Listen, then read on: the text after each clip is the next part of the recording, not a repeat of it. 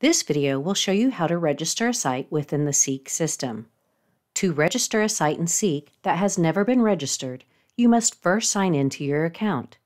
Next, ensure that the Home button is selected in the left menu bar.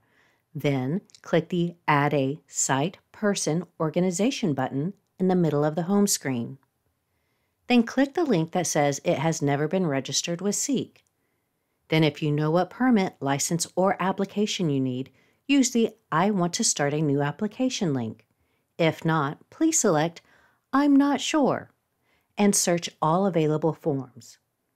Once you find the form you need, read the instructions and fill out all applicable information needed to completely submit the form.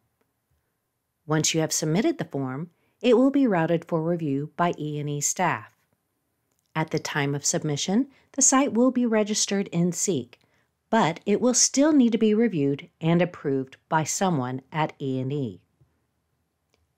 Thank you for watching this tutorial. If you have any questions or need further help in Seek, please contact the Department of Energy and Environment.